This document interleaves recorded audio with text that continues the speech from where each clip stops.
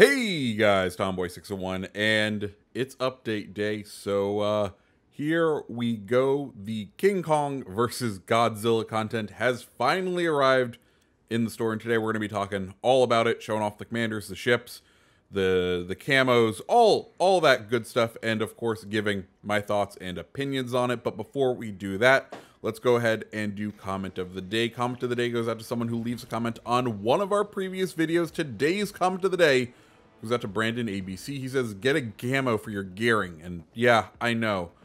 Don't worry. There was a bug where you couldn't make a permanent one, and I'm not one to burn camos if I can't. And guess what?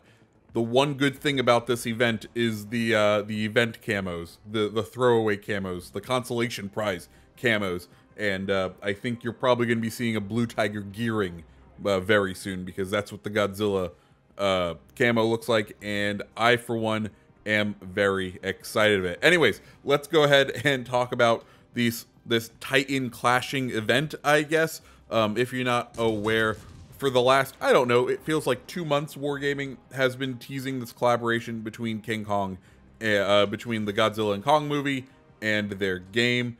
And uh, it has finally arrived. Of course, it's over in the special tab in the store. As far as what is available, there's a unique Tier 5 premium for both the American and Japanese, two unique commanders consisting of Kong and Godzilla, as well as uh, crates, and within those crates, I'll go ahead and throw up uh, Wargaming gave me 10 crates as being a CC. I'll go ahead and show them being unboxed here. As far as drop rates for those crates go, they are as follows.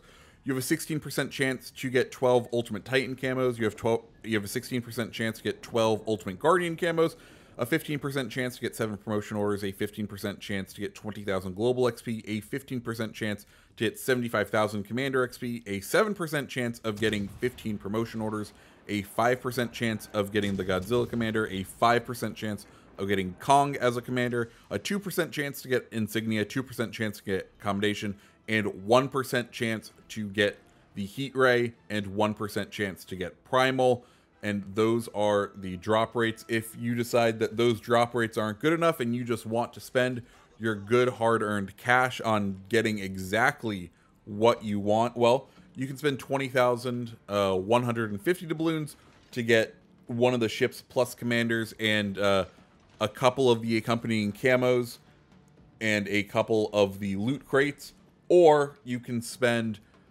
28,450 doubloons to get both commanders and both ships, which those prices roughly equate out to $80 and $110 respectively. And let me tell you, I I I don't think I would uh, be spending my money on these. We'll go ahead and walk through the commanders now. Kong is essentially a uh, copy of Lee with his base trait and one unique skill. That base trait being Battle Axe, which uh, increases the damage of your battleship's AA. As we can see on the first line, he has not not the one for Nuisance, Brawler, and the usual out all-out anti-air. Then on the next row is where his unique skill rise lies. He has Crisscross, Porcupine, and Tear Off the Wings. Tear Off the ring, Wings increases the damage of your battleship's AA guns and improves the turret survivability. Next, uh, next he has on the next tier is on second thought or firefighter. Then the last set of skills is reaching out, master mechanic, and properly meticulous. With the legendary skills being will to rebuild, running with scissors, and fight fire with fire. Godzilla is a Japanese commander, and he is essentially a reskin of Takagi, with his base trait being replaced with Horrifying Gaze, which reduces spotter plane reload time and increases its duration. First set of skills is going to be a good day's work, Flammable Cannoneer, and the all-out anti-air perk.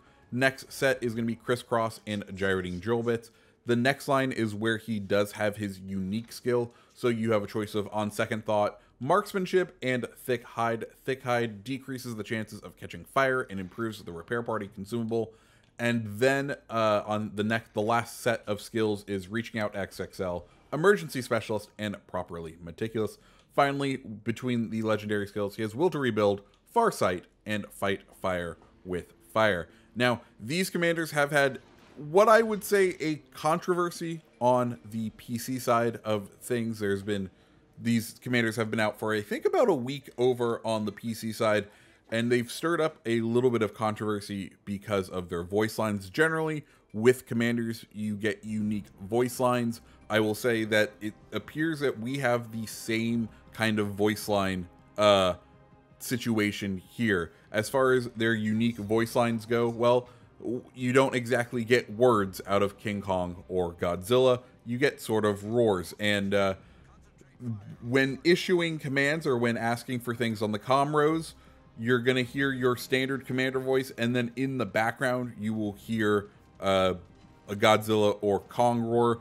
Kong, you really can't hear very much. If that's something that matters to you, just be aware of it.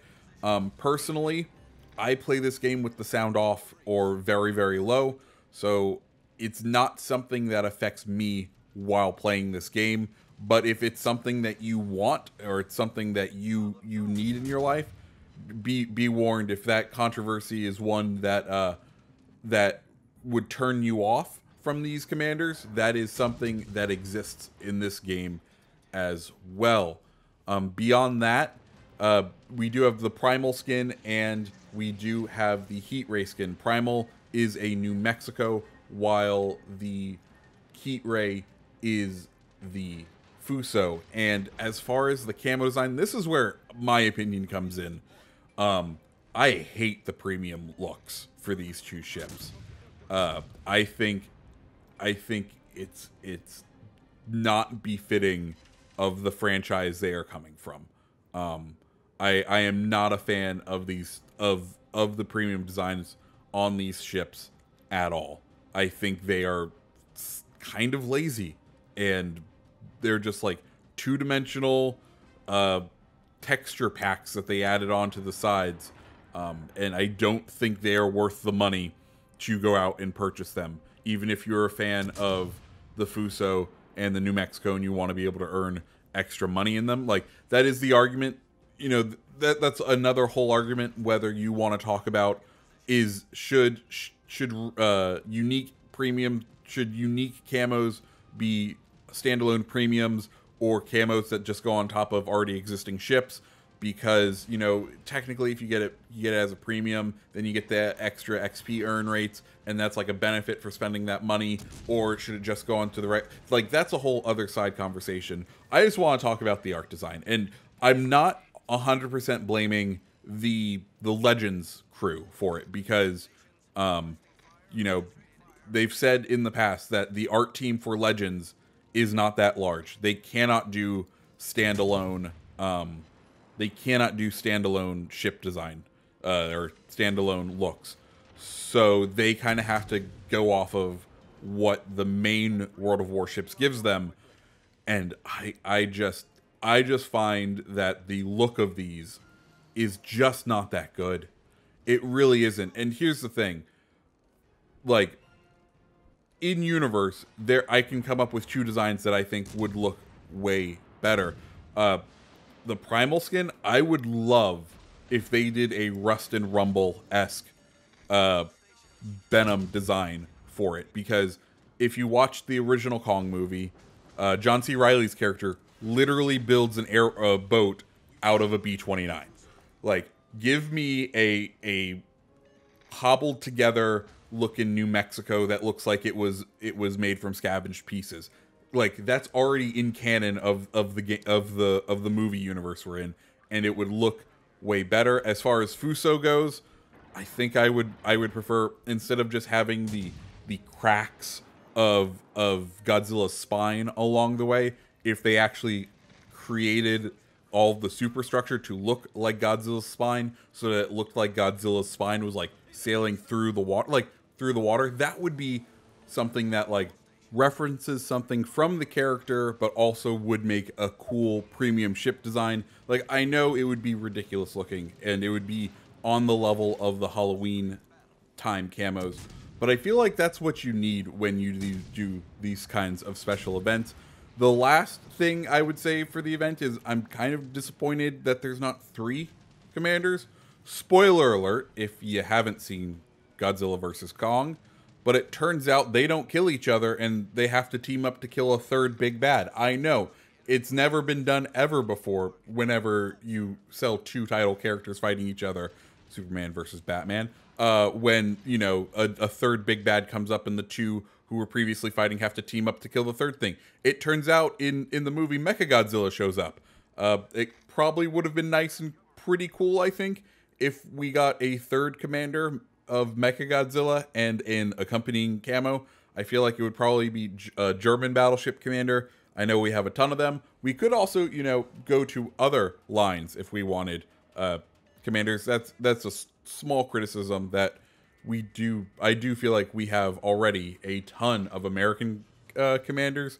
I don't knew, know if we needed another one, uh, but you know that's where we are. Um, I guess one last thing that I forgot to mention is that Godzilla and Kong do stand on the unique ships in your port. Um, the models seem fairly accurate. Rigging is not done the best, but I don't really expect that when you're running a game model and you're not doing first simu like you're not doing the first simulations. You're not doing a lot of a lot of things. So to me, they look rough, but they are they are absolutely passable. Um, I'm not a huge fan of Kong's glowing orange eyes because in the movies he doesn't have orange glowing eyes, but they need to make him match, I guess, the glass of the ship or, you know, just make him look a little more intense. And to play devil's advocate to all this, I do have to kind of point out um, we are still in the COVID times, and the way software development works is it is a long stretch process. Um, I think it was Reggie Fils-Aimé came out. So, someone prevalent in the game industry said this last year wasn't too bad for video games because the projects that came out were within a year of coming out and they could kind of shift and adjust and mold things to the whole process of what the last year was. The hard work had already been done, it was polishing. Well, now that it's been a year out, all of the polishing stuff is done with. It's now getting into content that was made during that time. And I think that's maybe what we're experiencing here is this is going to be the start of maybe some mixed and not as impressive results just because we are going to start seeing the long drawn out uh, impacts of the pandemic as far as a work output result is concerned. I don't know. Guys, that's the event going on right now. What do you guys think? Let me know down in the comments below. Like I said, I I think the best thing out of this event is the consolation prize camos, which is really weird and sad to say, but the camos for the unique ships, I am not a fan of.